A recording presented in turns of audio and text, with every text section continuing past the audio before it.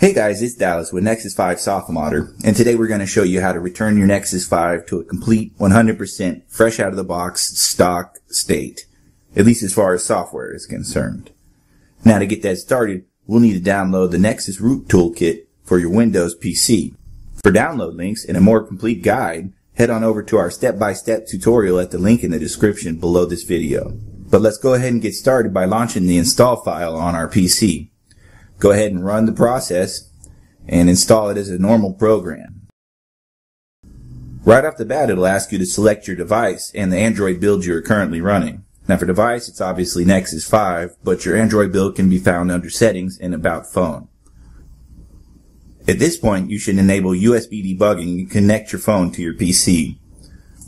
Allow the toolkit to download and install any files that it needs and update itself, and right off the bat, the first thing in the toolkit we should attend to is the driver installation.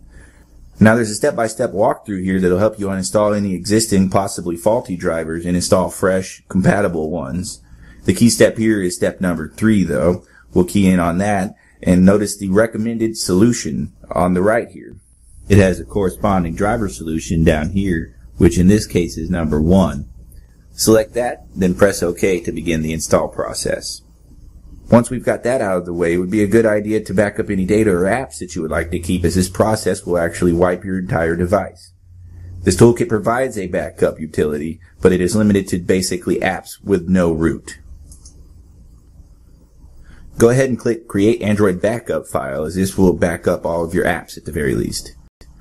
Follow the prompts and take note of where you're saving this file on your PC in case you need to access it later. At this point, your phone will prompt you to initiate the backup process. When you're all set, we can go ahead and move on to flashing the stock ROM for your Nexus 5. Again, this will completely wipe your device, so make sure you're ready before you press OK. From here, allow the toolkit to automatically download and extract the factory image. Once that's ready, click OK to initiate the process of actually flashing the stock images.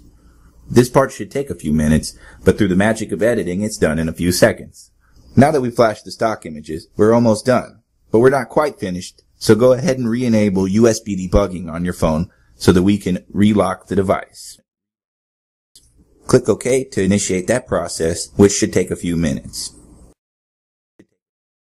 At this point, it's safe to restore the backup file you made earlier. Go ahead and click Restore in the toolkit and Restore Android Backup File. Find the file that you made earlier and click OK. And that's about it. Your Nexus 5 is now completely 100% fresh out of the box stock. Again, for a full tutorial, hit the link in the description below. And as always, we'd appreciate it if you would like and comment on this video and subscribe to our channel. We'll see you again next time, guys, but until then, happy soft modding.